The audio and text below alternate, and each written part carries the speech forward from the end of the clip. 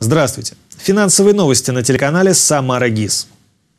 Центробанк заявляет, что укрепление рубля, связанное с резким движением цен на нефть, закончилось. Рост цен на нефть перестал толкать курс рубля вверх, стоимость российской валюты стабилизируется. По мнению первого зампреда Центробанка, высокая волатильность курса рубля сохранится еще некоторое время, однако уже этим летом она снизится до показателей уровня начала осени 2014 года. Ну, раз рубль стабилизируется на отметке 50 за доллар, то, наверное, логично Центробанку заняться соответствующим укреплением доходов населения.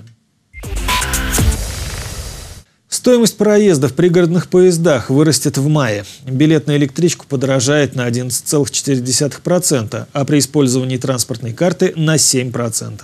Повышение объясняется возросшими затратами на осуществление деятельности Самарской пригородной пассажирской компании, в том числе в связи с высоким ростом тарифов на услуги ОАО «РЖД».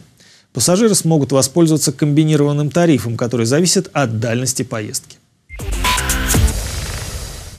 Болгария привлечет туристов шезлонгами.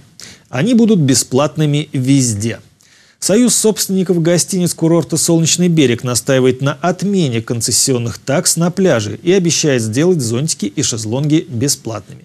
Со своей стороны концессионеры пляжей обещают увеличить качество поддержки пляжей, медицинское и водно-спасательное обслуживание. Ну, я даже засомневался как-то на Волге отдыхать или срочно в Болгарию за бесплатным шезлонгом. А на сегодня это все. Хороших выходных.